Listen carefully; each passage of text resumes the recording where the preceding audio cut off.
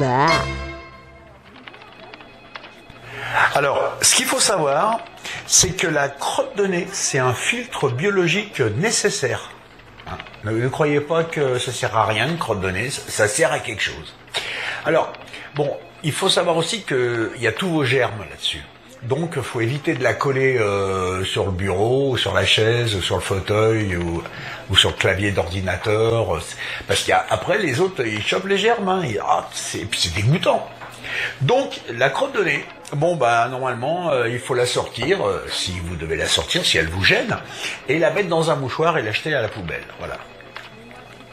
Bon, faut avoir un mouchoir.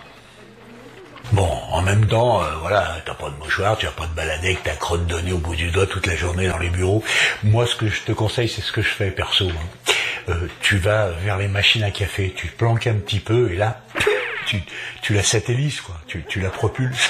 Et puis, euh, tranquillou, ni, vu- ni vu ni connu. Oui, Sylvie. Comment?